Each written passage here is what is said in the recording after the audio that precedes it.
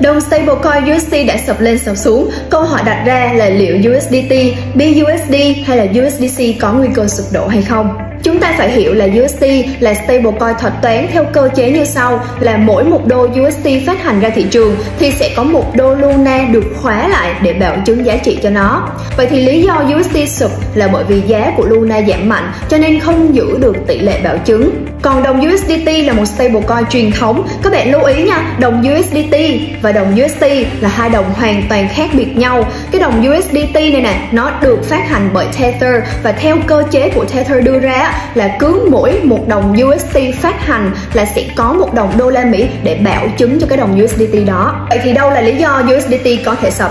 Lý do thứ nhất đó là từ trước đến giờ Tether chưa bao giờ công bố ra một bản báo cáo kiểm toán được thực hiện bởi một bên uy tín, ví dụ như là một trong những bên Big Four chẳng hạn. Trong khi stablecoin USDT nổi tiếng là stablecoin lớn nhất thị trường với tổng cung 80 tỷ đô. Các bạn có thể lên website của Tether để xem là theo như các báo cáo mà Tether thật sự công bố, tính đến tháng 12 năm 2021 thì Tether nắm giữ 4,1 tỷ đô tiền mặt để bảo chứng cho 78,6 tỷ đô stablecoin phát hành ra. Lượng tài sản còn lại thì được công ty đầu tư vào trái phiếu chính phủ, trái phiếu doanh nghiệp hoặc là cho vay. Và điều này thì đúng với cam kết ban đầu của công ty đó là backed 100% by Tether Reserve. Nhưng mà xét trong một môi trường kinh tế tài chính biến động như năm 2022 thì có khả năng là những khoản vay của Tether sẽ bị lỗ. Từ đó làm công ty mất khả năng bảo chứng lượng USDT để phát hành ra thị trường.